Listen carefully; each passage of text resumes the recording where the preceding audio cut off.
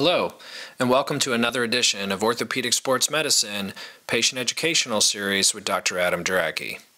In this video, we're going to explore the specifics of the rotator cuff repair surgery. This shoulder is a right shoulder. You can see the arm down here.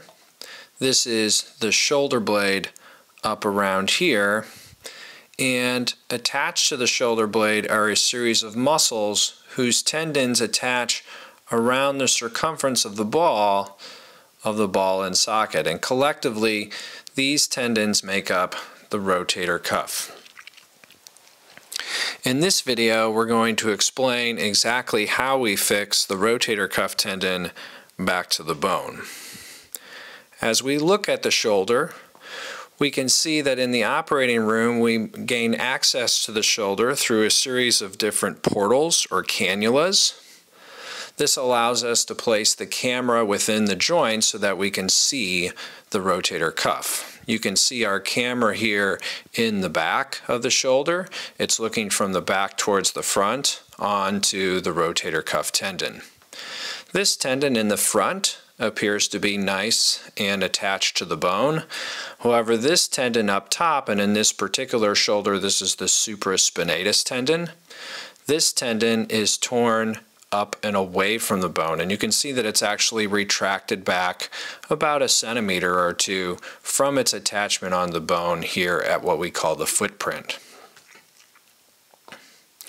So we come in and initially we just want to pull on that tendon and see exactly how far it's going to come back to the bone. We then roughen up the bone to create a bony bleeding surface so that the tendon can actually heal back down to the bone. We then will create a punch hole in the bone at which point we will place what is called a SwiveLock anchor into the bone. This is essentially a screw that drives the stitches for the repair down into the bone. The insertion device is then removed and the sutures are brought out the outside of the body.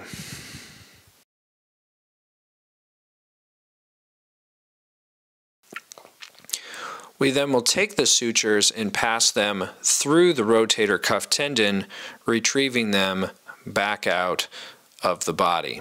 We will dock them temporarily into another cannula. As you can see, we'll then place a second stitch in the more posterior portion of the footprint and pass that stitch up through the rotator cuff tendon as well.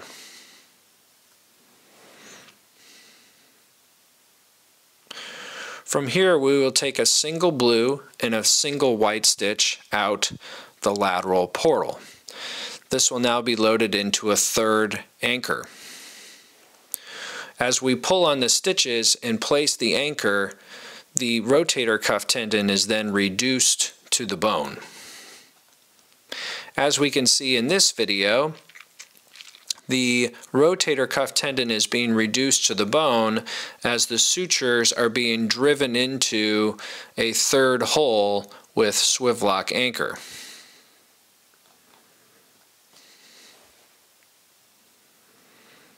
As the anchor is advanced, we're able to nicely reduce the tendon to the bone, removing the excess suture at the end.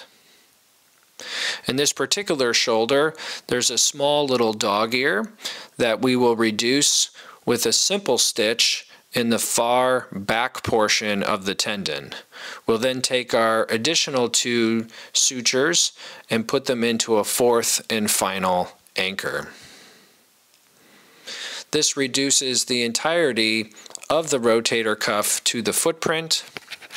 You can see very nicely now in this depiction that the previous rotator cuff tear has now been reduced back down to the bone and this series of crisscrossing stitches are actually working to provide compression of the tendon against the bony footprint in order to create healing.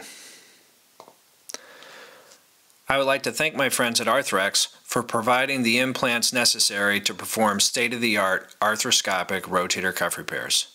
I'd also like to thank them for providing the surgical animation for this video. I hope this video has helped you to better understand the specifics of exactly how we perform arthroscopic rotator cuff repairs. Have a great day.